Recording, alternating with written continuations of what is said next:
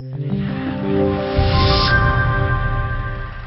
El gobierno federal aplicará alrededor de 250 mil millones de pesos bajo el esquema del programa Banobras FAIS en el 2017, que se aplicarán en municipios marginados del país, anunció el delegado de esa institución bancaria en Tamaulipas. En entrevista, Rodrigo García Rendón dijo que este esquema financiero multianual permite la anticipación de recursos del Fondo de Aportaciones para la Infraestructura Social, para apoyar el desarrollo de infraestructura social en las zonas con mayor grado de marginación, marque los lineamientos del CEDESOL.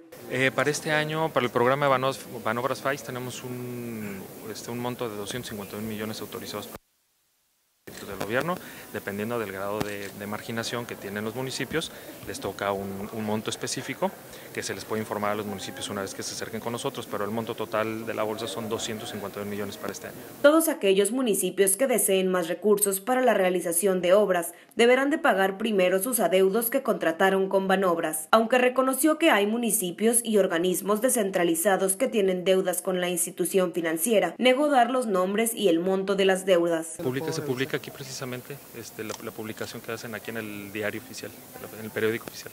Lo puede consultar. Ellos directamente lo pueden ver. Para Notivisa Tamaulipas, desde Ciudad Victoria, Carla Mendiola.